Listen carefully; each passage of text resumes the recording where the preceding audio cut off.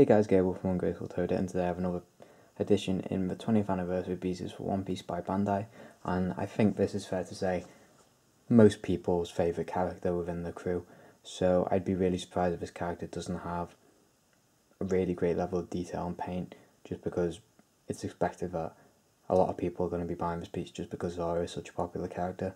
So let's get right into it. Obviously we have a 20th anniversary branding and our merchandising logos.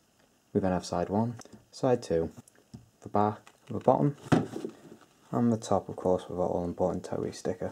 Here he is and this piece comes with no accessories, it just comes with the base and as I've said I think the bases for these pieces are just too large and there's nothing too special for them to really add to the piece so I just leave them in the boxes because most of them will stand by themselves but what I've found is this piece won't.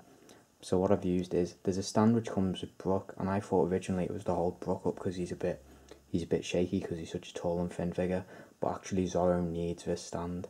And I'm not sure if any of the other figures, I've only got two left to unbox, come with a stand. So I'm currently using that stand to hold Zoro up because he will not balance well the stand. And I don't want him to be the only one not on a on his base when the rest aren't on his base. So let's take a look.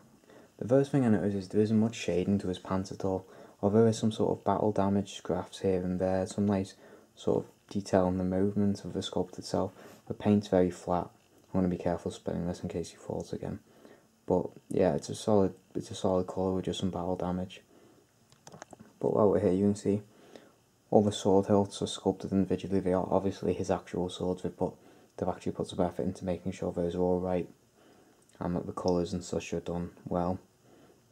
Um, again, the gold on him is very basic. It's sort of Luffy level, where the gold itself isn't highly detailed. It's just these circles and the shading isn't anything to write home about, but his face is done quite well, and there is a smiling portrait for him, which I don't yet have.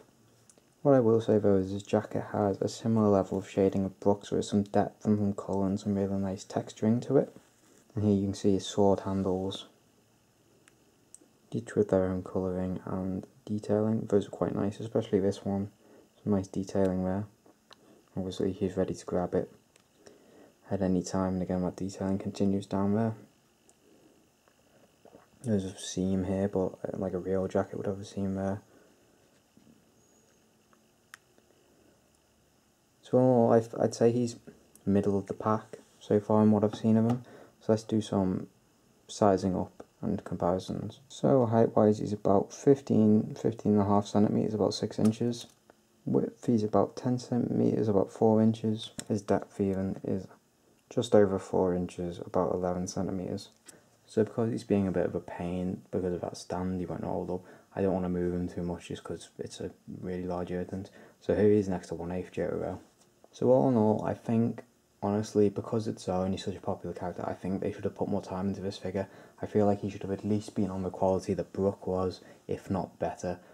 Um, there's nothing wrong so much with the sculpt itself or the amount of detail put into it. I just feel like with painting and maybe the way the gold was done, they could have added a bit more. Just, I feel like he deserved as a character that bit more depth, that bit more attention. I don't feel like he's got it. I think like he's been left to sort of a lower quality of some of the other characters, such as Usopp, which was a bit low on the quality chain.